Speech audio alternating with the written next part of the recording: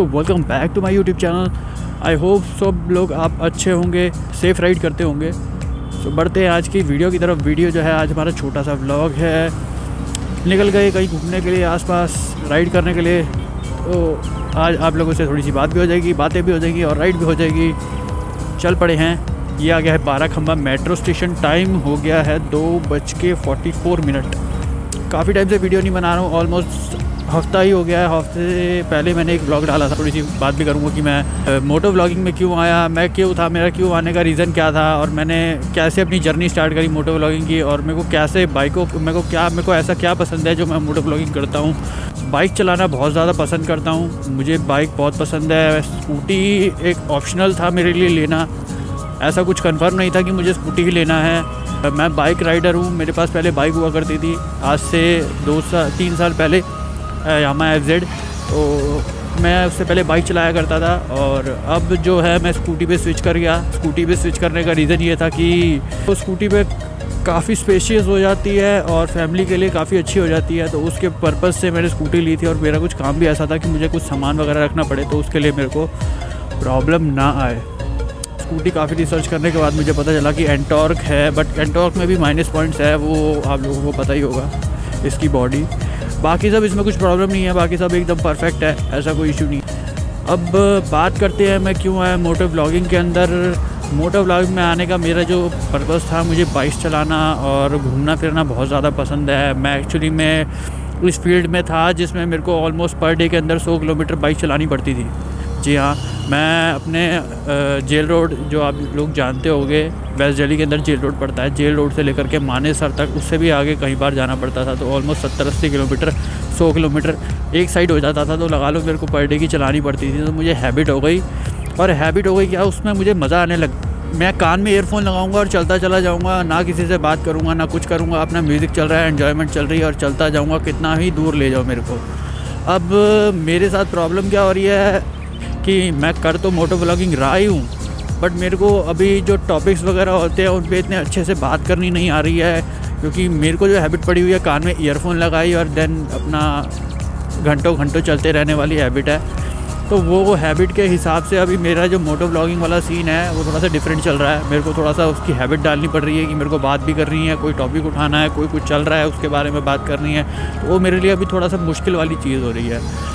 मेरे स्किल्स जो थे ऑलमोस्ट मैंने हाईवे पर आठ नौ साल बाइक चलाई है। छोटी बाइक चलाई है क्योंकि आपको पता है फ़ील्ड वाली जैसी चीज़ों पे फ़ील्ड वाली लो, लोकेशंस पर देखो बिना हेलमेट के बिना हेलमेट के जा रहा बंदा। हाँ तो आप लोगों को पता होगा फ़ील्ड पर जब भी चलते हैं तो हल्की बाइकों का ही यूज़ होता है सौ सी सी एक सौ पच्चीस सी सी बाइकों का यूज़ होता है तो मैं वही चलाता था। तो मेरा स्किल जो था, उससे काफ़ी अच्छा इम्प्रूव इम्प्रूव हो गया। मेरे को, मैं बताऊँ तो यार, मेरे जो एक्चुअली क्या था, मेरे फ़ील्ड में जो लड़के काम करते थे, मैं टच वुड है, मैं नहीं मानता कि मैं अच्छी बाइक चलाता हूँ या कैसे भी चलाता हूँ। मैं अच्छी चला लेता हूँ और मेरी लोगों ने तारीफ़ भी करी है, जो मैं अपने, जहाँ ऑफ़िस में काम करता था, वहाँ पर मेरा नाम रखा हुआ था एक्चुअल में एक। आप लोगों को बताना चाहूँगा, मेरा नाम जो रखा हुआ था वो स्नैचर रखा हुआ था।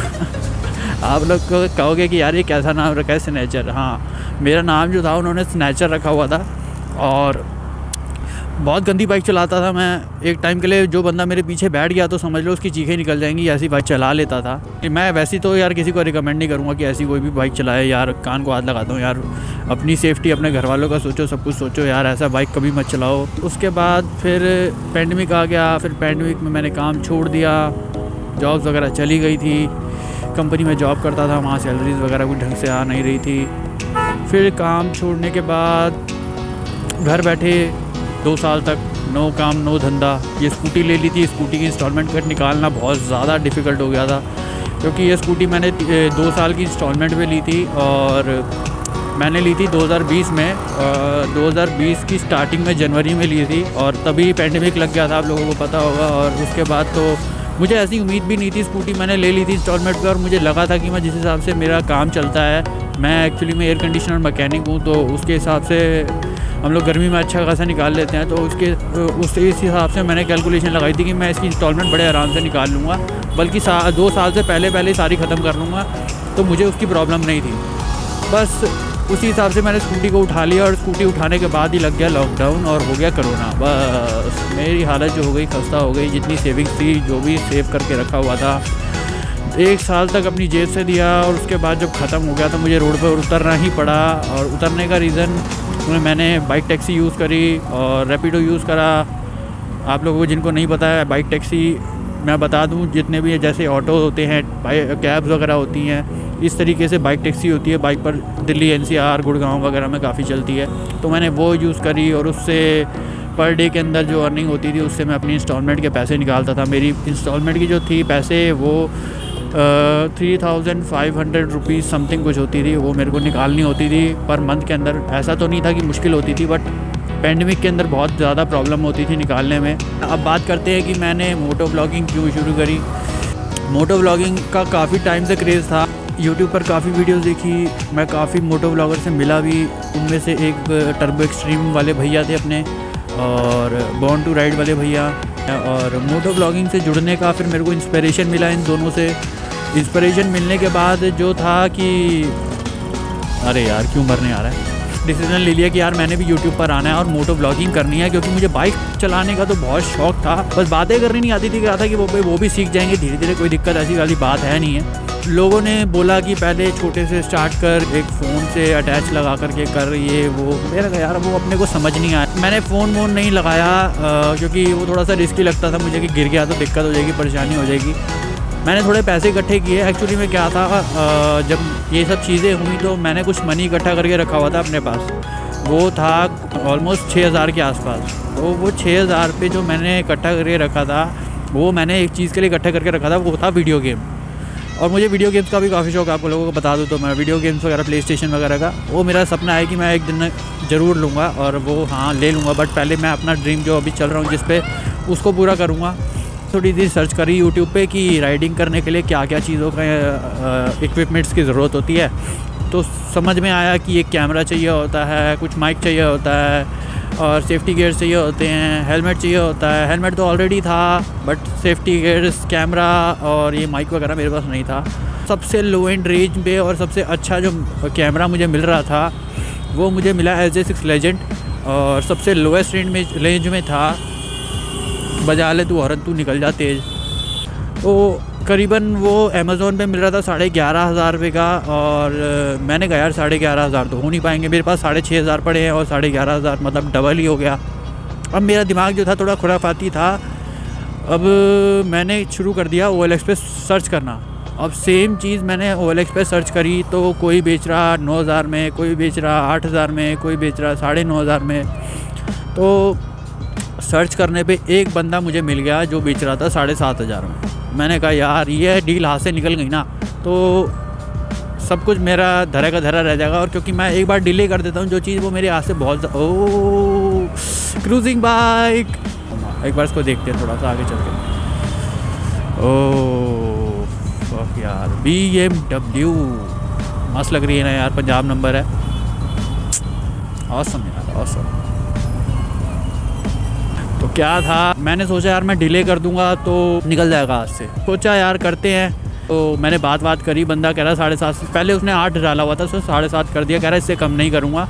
क्योंकि वो जो उसका कैमरा था, जो मैंने अभी लगाया हुआ, वो दो महीने पहले उसने लिया था और उसको कुछ पता नहीं किया, कुछ समझ नहीं आया या उसको लगाना नहीं आया यूज़ नहीं करना आया एंड ऑल तो इस वजह से उसने वो बेच रहा था। तो मैंने कहा, ठीक है यार, दो महीने पुरानी चीज़ है, क्या ख़राब होएगी? तो मैंने, मम्मी से ये बोला कि मुझे कुछ पैसे चाहिए, मैं आपको बाद में दे दूँगा। तो मैंने मम्मी से करीबन पंद्रह सौ रुपये एक्स्ट्रा और लिए और मैं चला गया कैमरा लेने और मैंने वो कैमरा लिया। अब उसके बाद मेरे को पता चला उसमें एस कार्ड भी डलता है। अब एस कार्ड लेने के लिए फिर मैंने सात सौ रुपये जोड़े राइड वाइड करके, ऐसे वैसे कर कर आके मैंने सात सौ रुपये जोड़े और फिर मैंने वो कैमरे का एक मेमोरी कार्ड लिया। अरे, ढक्कन खुला हुआ है इसका। अरे, ढक्कन बंद कर ले भैया। ओ भैया।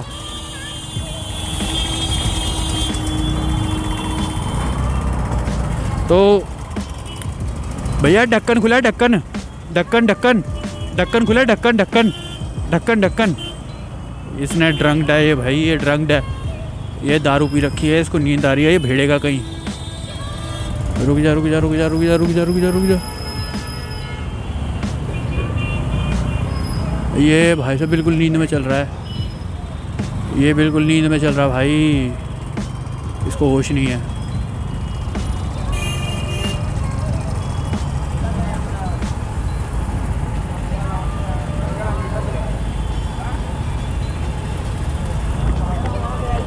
भाई, पीछे का ढक्कन खुला हुआ है। ढक्कन खुला हुआ है, पीछे का भिड़ जाएगा कहीं।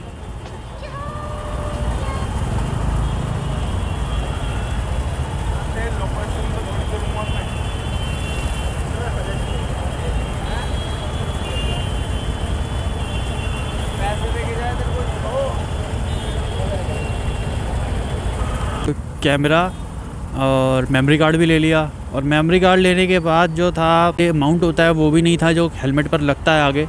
वो माउंट भी नहीं था। फिर मैंने वो माउंट लिया। मतलब लगा लो चार सौ रुपये का के समथिंग मैंने अमेज़ोन से माउंट मंगाया। उसको माउंट करके एग्जैक्ट ऐसे ही वीडियो बनानी शुरू करी। एक बिना वॉइस की कुछ कि मैंने दो चार वीडियोस आप देखोगे मेरे चैनल पे नीचे नीचे दो वीडियोस हैं ऐसी। जिसमें मैंने कुछ बोला नहीं है। मैंने बोलने की कोशिश करी बट उसमें जो वॉइस आ रही थी वो बहुत ज़्यादा नॉइजी आ रही थी। उसमें मतलब आवाज़ बिल्कुल ही एक नंबर की घटिया आ रही थी। तो मैंने सोचा कि यार बिल्कुल साइलेंटली एक दो वीडियो बनाते हैं। मतलब मैंने जुगाड़ लगाया, एक नोकिया की लीड आती है। नोकिया की लीड के मैंने कान के जो ईयरफोन्स वाले होते हैं, वो काट दिया और माइक जो होता है नीचे का, वो मैंने रख लिया और 3.5 पॉइंट mm वाला जैग होता है, वो मैंने उसमें लगा के उसको एज अ माइक यूज़ किया अपने हेलमेट के अंदर। हेलमेट के अंदर मैंने उसके चिन वाले नेट में लगा दिया और यूज़ किया एज अ माइक में। बट वो माइक इतना सक्सेसफुल यूज़ नहीं हुआ क्योंकि वो जो माइक था, वो बहुत ज़्यादा घिर घिर घिर घिर घिर घिर करता था। मतलब जैसी वाइब्रेशन होती थी तो वो बहुत ज़्यादा नॉइज़ क्रिएट करता था और उसकी वॉइस क्वालिटी जो थी वो बिल्कुल बकवास हो गई थी। मतलब पीछे की ज़्यादा वॉइस कैप्चर करता था और जो अंदर की आवाज़ होती थी, जो मेरे हेलमेट के अंदर होती थी, वो आवाज़ कैप्चर ही नहीं करता था। तो ऐसा कुछ हुआ। दो महीने मैंने उसके साथ काटे और उसके बाद मैंने एक बोया का एम वन माइक आता है। अरे, रुक जा यार। बोया का एम वन वाला माइक आता है, वो मैंने परचेज़ कर लिया। वो मेरे को ऑलमोस्ट पड़ा दो सौ रुपये का। अब आप कहोगे, ये दो सौ रुपये का कैसे मिल गया? मेरे को वही ओ एल से मैंने थोड़ी जाँच पड़ताल करी। उसने लिया हुआ था न्यू था ब्रांड न्यू था, सब कुछ एकदम। तो वही मैंने दो सौ रुपये का लिया एंड इसको यूज़ किया। और यूज़ करने के बाद जो मेरी वॉइस क्वालिटी आई, काफ़ी तगड़ी आई। ए वन की आ गई। मतलब मेरे को कमेंट्स वगैरह वीडियोस में कुछ आए भी सही कि अच्छी वॉइस क्वालिटी हो गई है। तो यूज़ किया और यूज़ करने के बाद जो मेरे को मेन प्रॉब्लम मेरी पता चली कि ऐसा हो गया मेरे साथ कि यार, मैं वीडियो बना तो रहा हूँ बट मेरे को टॉपिक ही नहीं समझ आए। अब मैं बात क्या करूँ? क्योंकि मेरे को वही पुरानी आदत कि लग जाओ बाइक पे बैठ जाओ और बस लगे रहो, चलते रहो, कान में एयरफोन लगा के। अब मेरे को उस चीज़ की आदत डालने में ना बहुत ज़्यादा टाइम लग रहा है। तो यही था कि मैं चल तो देता था और मैं अपना इंट्रो देता था hello welcome back to my YouTube channel and ऐसे बोल के बस मैं आगे साइलेंट हो जाता था कि मैं अब आगे बोलूँ तो बोलूँ क्या? मेरे पास ना कोई टॉपिक है बोलने के लिए। एकदम ऐसे हो जाता था जब ब्राइंड जो मेरा माइंड है वो वॉश नहीं हो जाता एकदम बिल्कुल समझ ही नहीं आएगा कि आगे बोलना क्या है। सिटी पिट्टी गुल हो जाती है कैमरे के आगे। मैं कैमरे के पीछे भी सिटी पिट्टी गुल हो जाती है मैं बोलना भूल जाता था, मैं बोलना क्या है? ऐसा होता था कि मैं सोचता रहता था, फिर ब्रेक लिया, फिर बोला, फिर ब्रेक लिया। इतने में मेरा मूड बदल जाता था, मैं कैमरा वैमरा सब बैग में डालता था। मैं कहा, चल छोड़ यार वीडियो नहीं बनानी, अब बाद में बनाएँगे।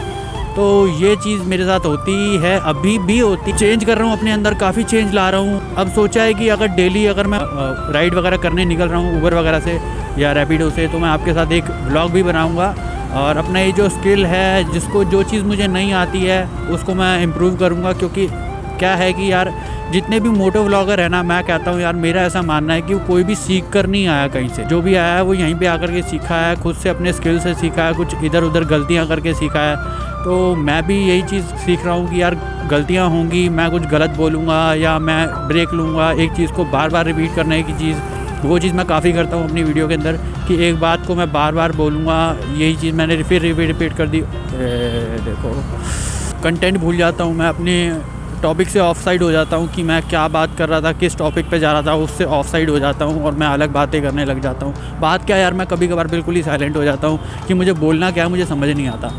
तो ये चीज़ की इम्प्रूवमेंट करने के लिए मैंने डिसीज़न ले लिया कि मैं डेली व्लॉग बनाऊँगा और जो अपनी इम्प्रूवमेंट है, इसको मैं और बढ़ाऊँगा।